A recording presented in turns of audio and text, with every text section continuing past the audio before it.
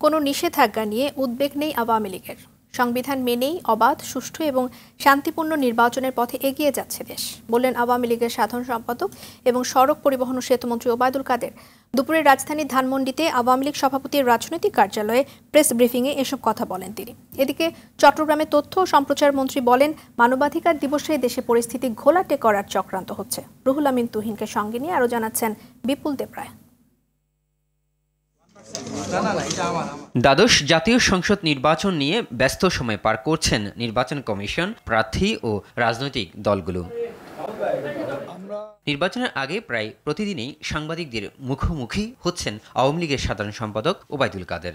অবাধ সুষ্ঠু নির্বাচন অনুষ্ঠানে সরকারের সদিচ্ছার কথা আবারও তুলে ধরেন তিনি। স্বাধীন নির্বাচন কমিশনের অধীনে একটা শান্তিপূর্ণ, সুষ্ঠু, অবাধ নির্বাচনের দিকে এগিয়ে যাচ্ছে। আওয়ামী লীগের সাধারণ সম্পাদক আরও বলেন নির্বাচনে কেউ বাধা দিতে আসলে ভোটাররাই প্রতিহত করবে।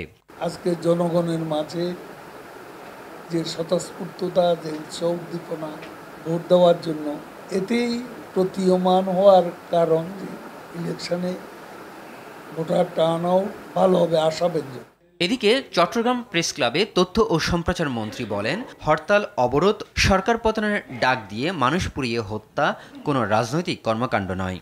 এইভাবে পেট্রোল বোমা নিক্ষেপ করে মানুষ হত্যা করা হচ্ছে, তখন যখন এই বিবৃতি যারা দেন সবসময়, তাদের বিবৃতি দেখতে পাচ্ছি না।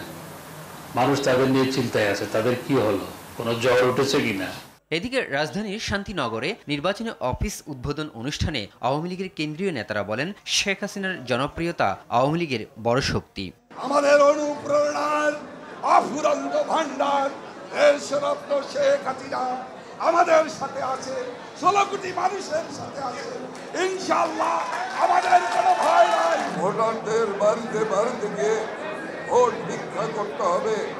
ভোটারদেরকে ভোটের দিনে দেশের উন্নয়ন অগ্রযাত্রাকে ধরে রাখতে নৌকার কোনো বিকল্প নেই বলেও জানান আওয়ামী লীগের নেতারা। বিপুল দেবরাই, আর ঢাকা।